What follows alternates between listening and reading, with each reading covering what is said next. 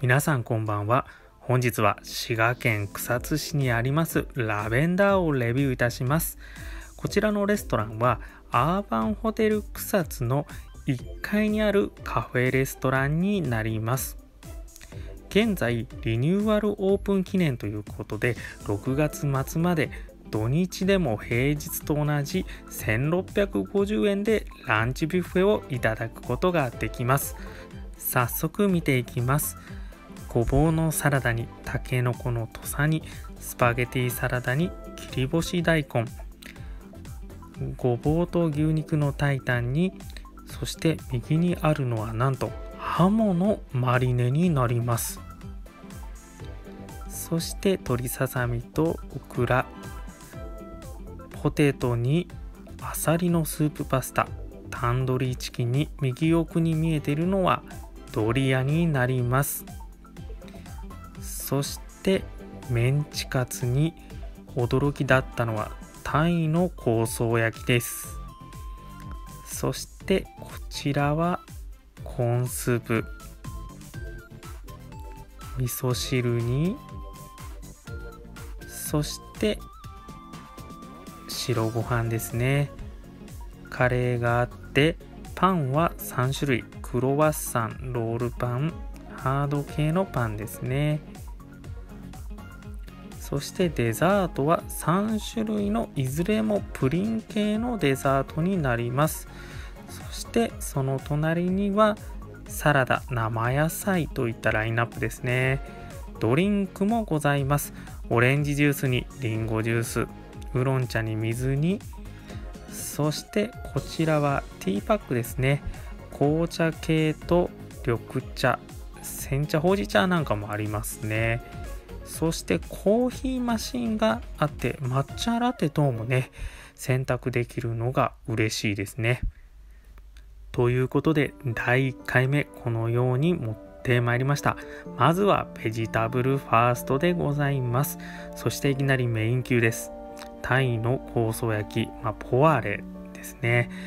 この付け合わせにね添えましたこのポテトがね今まで食べたことないようなねカリッとしたこれすごく美味しいポテトです。そしてこちらはごぼうのサラダマヨネーズ風味になっております。そしてたけのこの土佐煮を挟んでメイン級のねこの単位の香草焼きポワレを食べていきます。本当にねビュッフェこの値段のビュッフェでこのタイのね香草焼きポワレが食べられるのはびっくりですよね。まあ、想像通りですね。上品な白身でやっぱりタイは美味しいですね。そして付け合わせの野菜がアスパラだったのも個人的に嬉しかったですね。結構アスパラ買うと高いですからね。そしてこのポテト何度も繰り返しますがカリッとしてて本当に美味しいです。続きましてこちらメンチカツとねハモのマリネを食べていきます。このメンチカツねトマトソースがかかってるんですがどうですか？この肉肉しさが伝わりますでしょうかね？本当にね結構ね肉汁ちょっと伝わりづらいですがぎゅっとね押すと出てくるんですよね。はい美味しかったです。そしてコーンスープを挟んでこのねハモのマリネってもねこの価格帯で出てくるのほんとすごいと思いますね。結構ね和風と言いますかこの大葉しそが効いていてさっぱり食べられて美味しかったですね。あっさり系です。そして安心します。まあこの切り干し大根ですね。ほっとする味。そしてマリネをね3口目いただきました。本当にこれはおすすめです。そしてこちら茶碗蒸しあえてかわかんないですけどもまあ、冷静って言っていいんでしょうかね。はい。割と味はしっかりめについている茶碗蒸しでございました。あっという間にね、一回り目食べてしまいましたね。そしてこちら、あさりのスープパスタでございます。こちらもね、おそらく大葉だと思うんですけども、まあ、ガーリックも効いてたんですが、どちらかというと和風な感じにね、仕上がっているパスタ。割ともちっとしたね食感のパスタでこちらも美味しかったですね。結構ねこの、まあ、やはり炭水化物ですんで油断するとこれでお腹がね膨らんじゃいますので皆さん注意してください。ちなみに90分制のビュッフェになります。続きましてこちらまたまたね取ってきました。やっぱりねこのメイン級のねタイのポワレは外せないですね。またねあの、まあ、注意点としましては、まあ、料理が毎回ね同じだとは限らないので日替わりの部分はありますので注意してください。そしてねタイのポワレあまあ香草焼きの後はね今ちょっと持ってきてるんですけどサワラに変わってました。ですので1回目、えー、あるからといって2回目取りに行った時にねその料理があるとは限りません、まあ、楽しみでもありですので逆に言うと1回目見てあいいなと思ったのは取っといた方がいいかもしれませんね。次行く時ないかもしれないので。はい、で、まあ、このお魚はねタイからまサワラに変わったというところで、まあ、個人的には、まあ、サワラも美味しい魚なんですが、まあ、タイの方が上だったかなっていうのが個人的な感想でございます。そしてメンチカツもねおかわりしようと思ったらもうなくなっててそこにはこのハンバーグがね並んでおりました、まあ、こちらもね個人的な好みかと思うんですけどもおそらく同じお肉あのハンバーグ種をね使ってるのかも分かりませんがメンチカツの方が私は好みです。もちろんねこのハンバーグも美味しいねあの味付けでございますけども、まあ、こちらも肉肉しいハンバーグでございます。そして唐揚げもね追加で出てきましたよ。こちらもカリッとしたタイプ。まあ見た目に反して割とあっさりした味付けだったかなって個人的には思いました。ね結構ねこう切ってみても肉肉しい感じのね唐揚げでございました。そしてこのポテト。結構おすすめですよ。結構口コミとか見ててもこのポテト気に入ってるねお客さんも多いようでございました。まだまだ食べますよ。こちらはドリアです。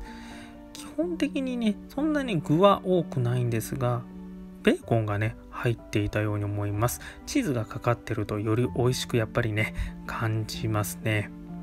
そしてカレーも見逃せませんね。こちらまあシンプルなカレーなんですけども美味しいですね。まあ、最初ね甘いかなと思ったんですけども、まあ、最後の方にじわーっとね辛さが来るタイプ。それほどね辛口系ではないんですけども、まあ、少し甘い中にもスパイシーさがね感じられるカレーとなっておりました。そしてデザートに参ります。エスプレッソとともにですね、えー、3種類のプリン系ですね。ノーマルなプリンとね、こちら今食べたのがノーマル系のプリンです。そして見えてる右の方がキャラメル系のプリン。奥がマンゴー系のプリンになっております。すべてねあの想像通り美味しかったんですけども、まあ、個人的には、まあ、3つプリン系なんで1つね例えばプチケーキなんかがねあっても変化があっていいのかなと思いました。コーヒーマシンもね、まあ、抹茶ラテとかねエスプレッソがね飲める。もちろんねアイスも氷があるのでアイスコーヒーとかねそういった形でも飲めるのでこのお得だとねお得感が増しますね。はい。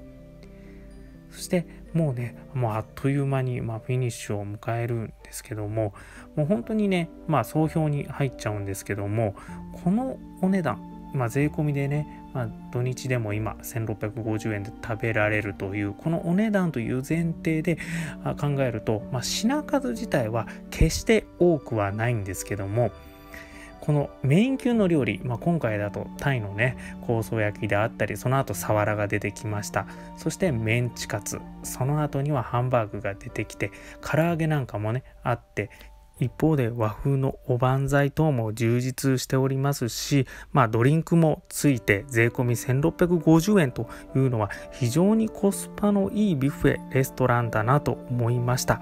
加えて決して大きくはないんですがやはりホテルということでその清潔感といいますか雰囲気もね非常に落ち着いていておすすめできるポイントだなと思いました。ということで今回はアーバンホテル草津内にありますラベンダーのランチビュッフェをお送りいたしました。皆さんもぜひチェックしてみてください。本日もご視聴ありがとうございました。